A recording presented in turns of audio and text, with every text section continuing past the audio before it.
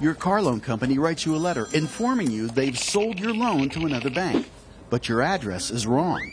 You never get the letter, but you continue making payments to the original company. Meanwhile, your car is repossessed by the other bank.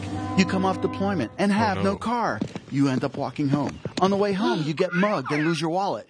Don't get mugged and lose your wallet. See your postal representative. Make sure your address is correct and let everyone know. Don't let this be you.